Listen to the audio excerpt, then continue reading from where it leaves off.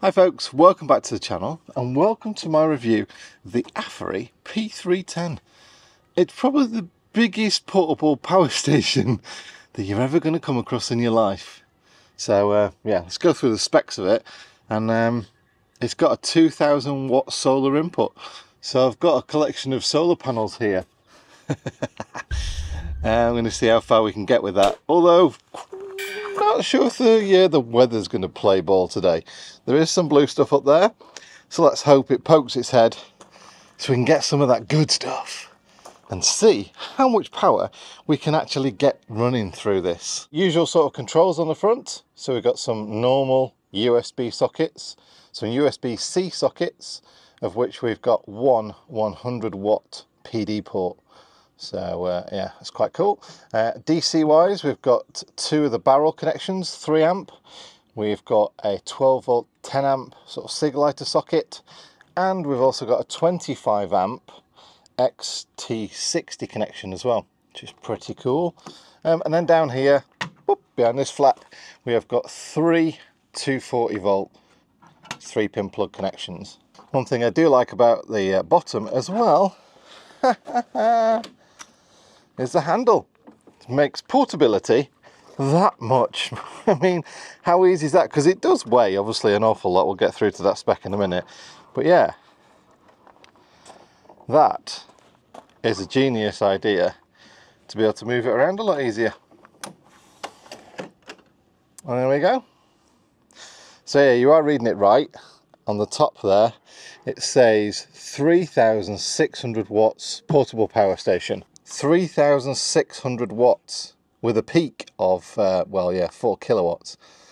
So this is going to be able to power absolutely everything and anything you want to throw at it. Power your house.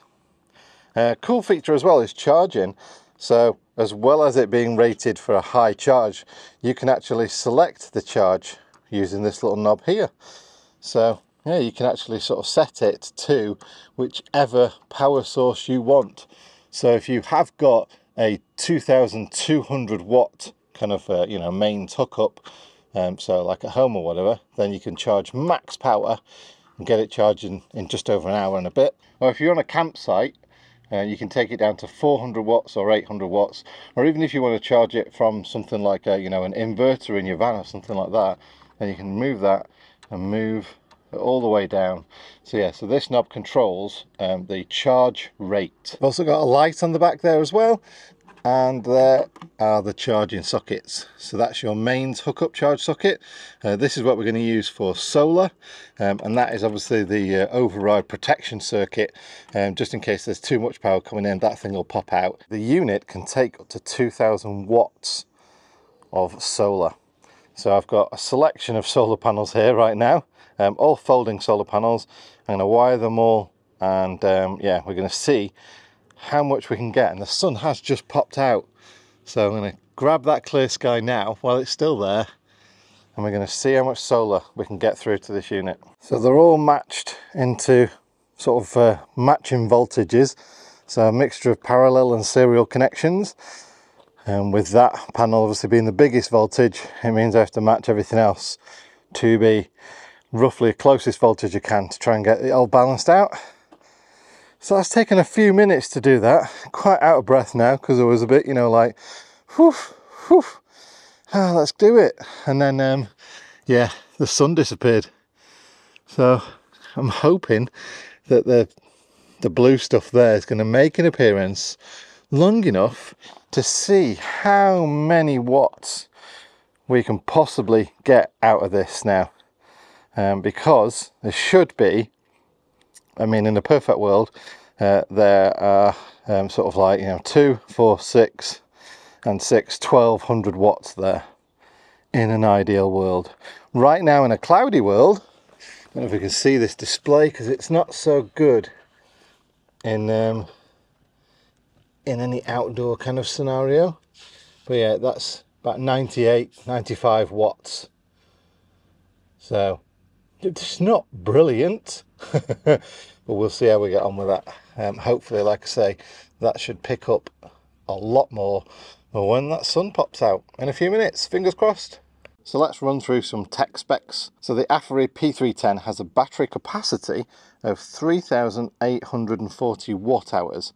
Now, if you were trying to convert that into sort of 12 volt for van life kind of uh, scenario, uh, that's 320 amp hours of um, usable battery power. So while we wait for the sun to come out, let me just show you what you get in the pack. Obviously that's the instruction manual that you get with warranty details and everything else. You also get this nice bag that you can put over it. And inside the nice bag is a really decent quality, obviously nice and thick mains cable there. And then we've also got the solar charge cable as well with the, uh, the XT90 connection on the back there. So via the XT90 connection on the back, you can even charge it from your car as well. So it can accept um, 12 or 24 volt car charging. So like I say, this input that I've got right now, uh, you can have up to 2000 watts of solar connected up to a maximum voltage of 160 volts. So that's quite good. I mean, that's really seriously going to get you a lot of potential power. Um, you know, for solar charging, if you've got a solar array set up, this thing is going to charge quite rapidly. It, oh, oh, oh, oh. There is blue sky coming, folks. We may well get some real potential. Now, you got the two handles on the top there for carrying it, as well as the pull-out handle that I showed you earlier for sort of wheeling it around. Um, and it weighs 40 kilograms. I'm just going to stop doing tech specs now because El Sun is just about to pop its head and I want to see if I can what sort of power are we're getting out of it. Oh, oh, come on, sun. 430. I mean, it is saying that at this rate, in 27 minutes, it's going to be fully charged.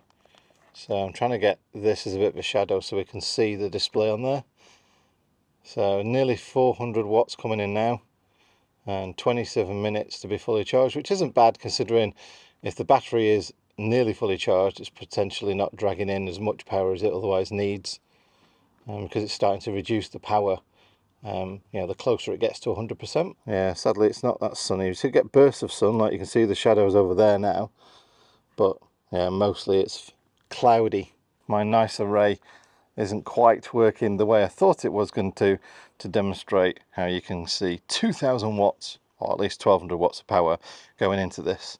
But you get the idea now anyway, how to match it, the um, sort of a number of volts that you can't exceed, and obviously the watts that you can't exceed either. So you get what I'm trying to achieve by doing that. So the internal batteries are LiFePO 4s, and they run at 48 volts as a sort of an internal pack.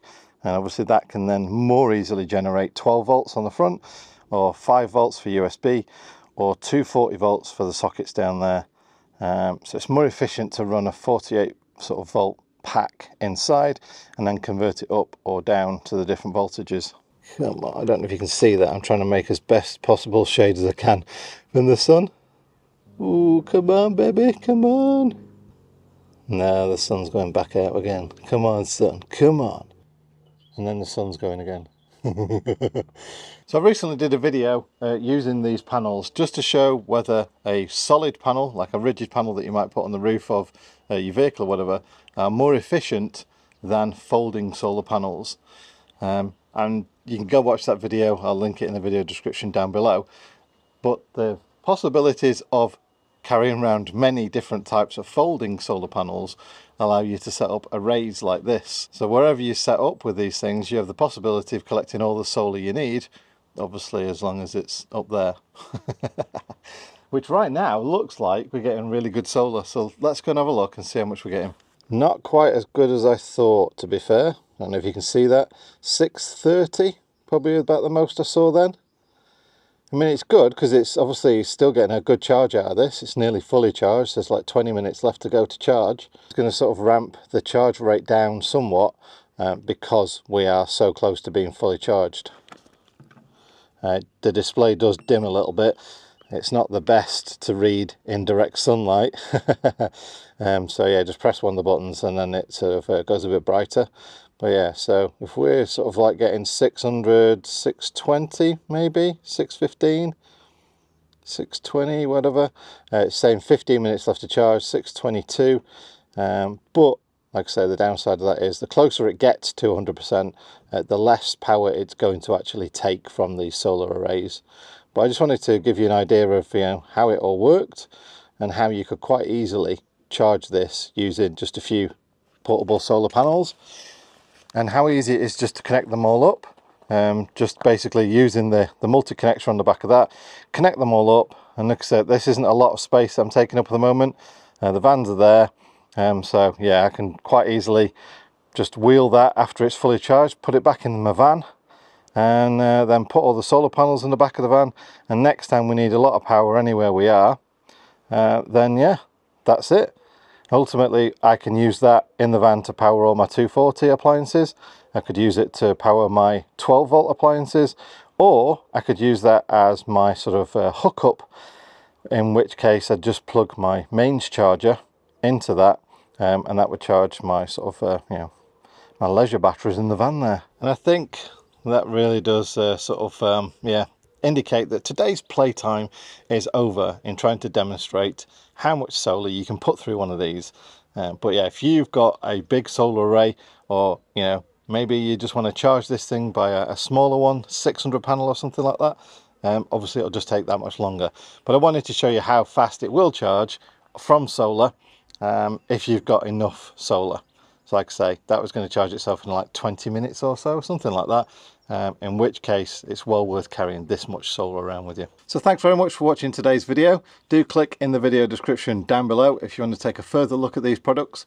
I'll put some product links and if I've managed to get a discount from AFERIY for the P310 uh, then I'll include that discount code down in the video description too.